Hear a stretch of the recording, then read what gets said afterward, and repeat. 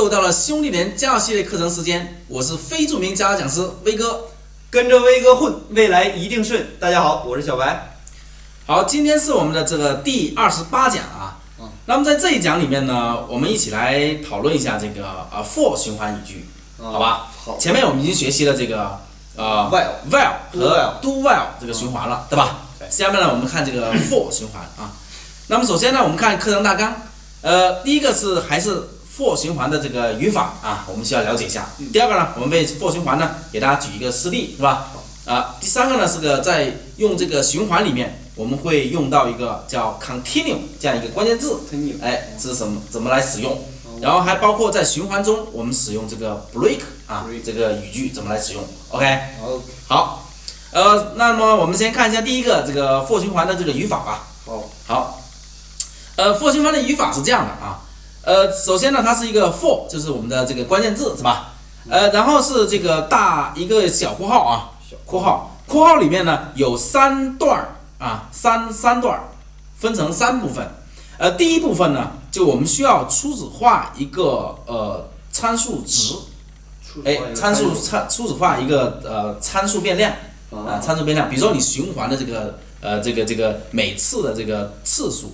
哦，比如说是吧？因为我们每次循环第一次、第二次、第三次是吧？对对对。哎，你可以用一个呃，用一个这个变量呢来去表示。比如说我们用这个整数 i 来表示，是可以吧？哦。哎，是没有问题的。然后第二个呢是呃呃，第一个和第二个，第二个呢就是这个用来作为判断条件用的。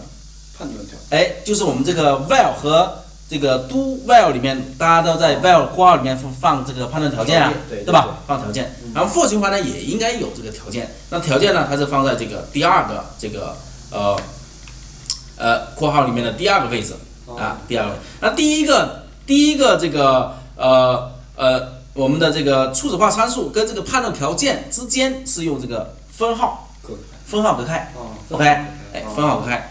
好，还有第三个就是更新循环的这个变量，更新，因为第一个我们是用来初始化过了，是吧？比如初始化零，那这样下面第二次如何去把这个零进行累加，是吧？进行增加呢？哎，就是在这个条件里面这个位置来进行呃，对，来去放这个这个变量参数的一个一个一个一个更新，哎，或者你可以增加，可以减少都可以啊，是吧？不不一定是是增加，减少也是可以的。嗯 OK，好，就这这三个部分。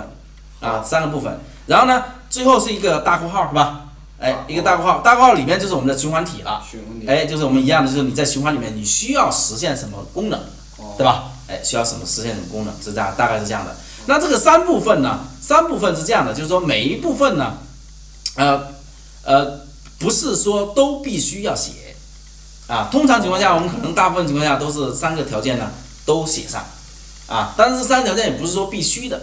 但是不是必须的时候呢，就有可能导致你这个 for 循环啊会出现呃这个这个，比如说呃无法终止，比如说你没有判断条件是吧？没有判断条件，有可能导致它无法终止，你可能自己要去控制了，对吧？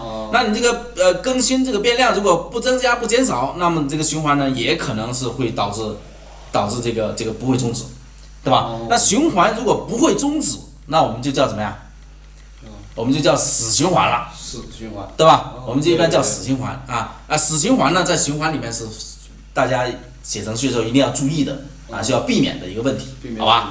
哎，对，避免死循环。OK，好，那我们就开始给大家呃这个干讲这个语法也没什么意思，是吧？哎，来点那个例子吧。好，好，我们打开我们这个第二十八讲，对吧？啊，二十八讲，我们是 for demo 啊，我们打开。好，我们的 for 循环语句啊，啊，这是先导入的一个 scanner 是吧？for demo，OK，那我们举一个呃例子啊，好，呃，小白平时都在做什么呢？平时啊，哎，平时每天都干什么呢？每天吃饭睡觉打豆豆。哎呀，还吃饭睡觉打豆豆是吧？嗯，现在还打豆豆吗？啊，也不是啊，现在跟威哥学 Java 是不是？现在应该是每天吃饭睡觉学 Java，吃饭睡觉学 Java 是吧？吃饭睡觉学 Java。OK，好，那我们如果是我们要学习这个啊，整个这个 Java 这个课程啊，比如说大家啊，比如说大家花上这个呃时间啊，哎，这里一敲它都出来了是吧？比如说我们啊一个框，比如说我们要花上这个一百天是吧？来学习这个啊这个 Java 这个部分。好啊，这部分这个课程。OK，那我们呢，一般情况下初始化变量，那我们就可以在这里放置，比如说我们用 int i 等于零，这就是定义一个 i 这个变量，初始化为零零是吧？初始化为零，就一般是这么来写啊。当然这个定义你可以放外面去定义也是可以的，是吧？啊，一般就在里面直接就写了。然后一个分号是吧？对，分号。那我们的条件结束条件啊，所以循环一定要结束条件是吧？那我们说 i 小于多少呢？比如我们从第一天开始吧，第一天是一吧？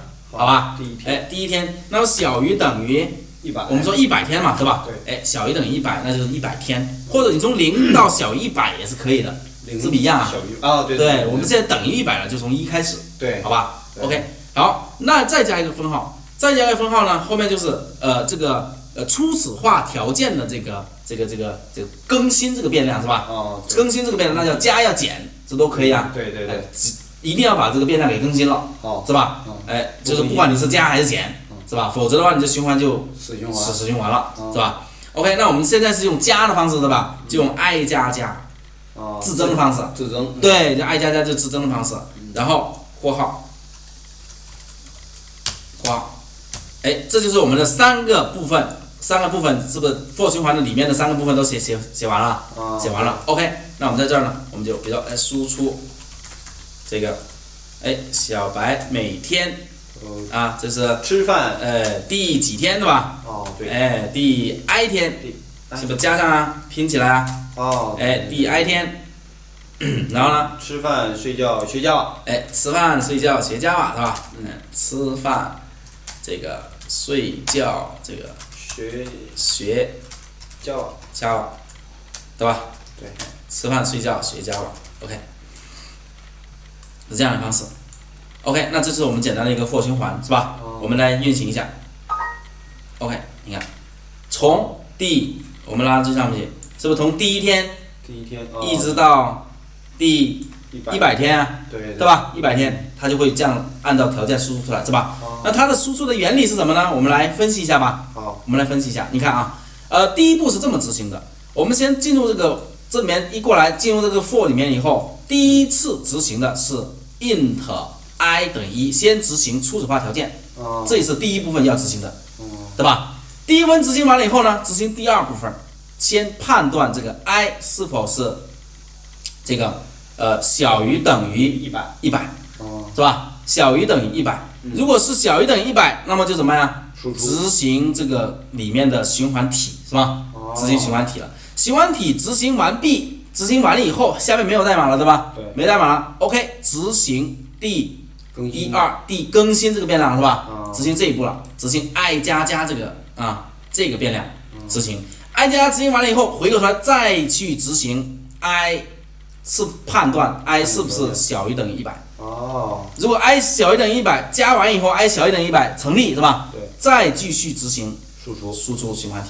哦，就这样一个过程，然后完了以后再以此类推，又去加加，哦再判断执行，加加判断执行，哦就一直到循环结束，明白吧？明白明白。这样的，哎，所以说这个初始化条件只是在第一次的时候会执行，哦，就一次，对，就执行一次啊，第一次的时候执行是吧？接下来就是加加判断，加加判断，加加判断，是吧？哦，对，就这样一个执行的一个一个一个一个过程，哦好吧？好，OK，嗯，好，那这是我们的一个简单的一个啊这样一个呃。示例啊，那我们现在看一下这个有一个 continue 这样的一个语句怎么来使用啊？continue 语句的这个意思是说跳过 continue 下面的语句进入下一次循环，什么意思呢？什么意思？比如说我们想让我们的循环里面，想让我们的循环里面，哎，比如说我每天学家我也挺累啊，是吧？挺累啊，哎，如果我某一个条件下，如果当这个 i 对这个多少？呃，比如说十吧，我们简单的一个例子是吧？如果对十取模等于零的话，如果是十的这个整倍数的时候是吧？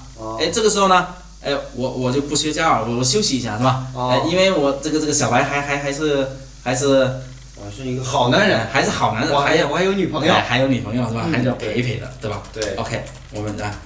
小白还得陪陪女朋友，这个这陪女朋友干嘛呢？今天比如说是，嗯，吃饭逛街那个啥，啊，吃饭逛街那个啥是吧？那个那个啥，这个这个啊，输出这样吧，嗯，这样，OK，呃，第几天，然后是吃饭，这个逛街，逛街，是吧？嗯，然后那个啥，那个啥呀？那个啥，威哥，你想的是啥就是啥呗。我想是啥，我能想啥呀？你想啥就是啥呗。OK。OK。好，那我们这里加一个 cont，continue 是吧？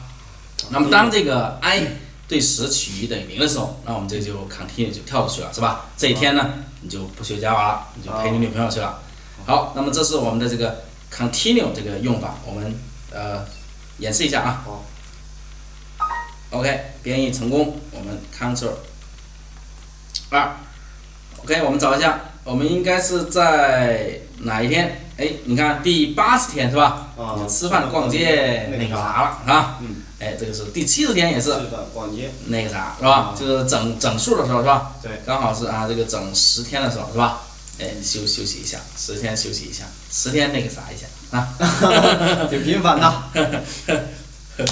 OK，好，这是我们的这个 continue，也就它的作用是，当条件满足就不执行这个循环体里面的后面的这个语句了，啊，跳出去执行下一次，对吧？执行下一次循环。continue 后面的都不执行了。对，continue 后面都不执行了，是吧？好，就进入下一次，就这个意思啊。好，这是我们的 continue 这个关键字了。嗯啊，呃，那我们还有一个关键字是这个呃 break，在循环里面用到。哎，循 break 我们前面在这个呃 switch 的时候已经用过了，是吧？对，switch 来表示是不是跳出那个我们那 case 啊？啊，对吧？跳出那一个 case，我们一定要加的，加这个 break，对吧？表示啊，呃，在 switch 里面使用过。那么这个 break 在循环语句里面是表示什么意思呢？它是说当这个 break 语句在循环体中使用时，表示跳出当前最近的循环，最近的最近的循环。呃，这个最近的循环是什么意思呢？就表示那我们现在的话，最近循环肯定是上面这个 for 了。哦。如果在里面写这个代码的话，对吧？那未来呢？可能我们循环有很多嵌套，是吧？哦，循环也有很多层，那你跳出的是离你最近的那一层。哦。是这个意思。离这个 break 最近的，哎，离不离 break 这个语句最近的那一层循环跳出去就不执行了啊啊好，那我比如说我们在这里加一个条件吧，好吧，加一条件，哎，假如说呃你学习加二，你不要学一百天吗？这是正常的方式，比如说一天一天的这样往下学是吧？哎，如果你学的时间比较快，对吧？你学习能力比较强是吧？